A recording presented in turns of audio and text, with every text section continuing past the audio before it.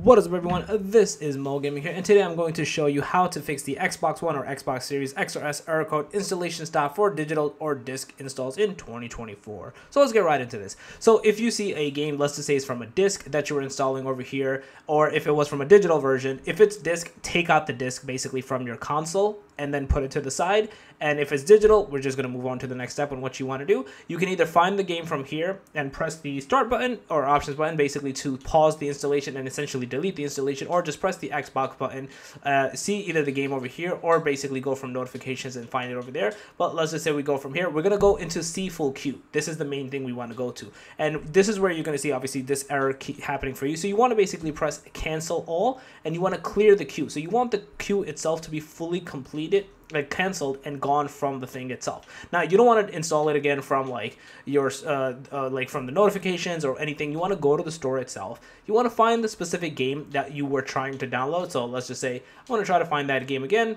Uh, let me actually go from games free uh, it's the first one I'm just kind of showing you. And you want to do it from here directly. And it's going to say installing and then now you want to do view and queue and you want to actually wait here directly for the game to install. You don't want to go anywhere you don't want to start playing other games you don't want to do anything specific. You want to just basically stay here and install that one specific game whether disc or digital at a time. If it was a disc and you had this error take out the disc like I said initially and clean it up. A lot of times the disc itself may be dirty you might want to basically clean it up and then put that back in. Do the same thing that i mentioned here and install it via that way.